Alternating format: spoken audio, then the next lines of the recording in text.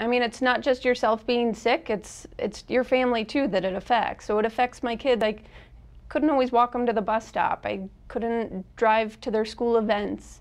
Um, it's you know I couldn't help make their lunch in the morning. I just didn't have the energy to do everything.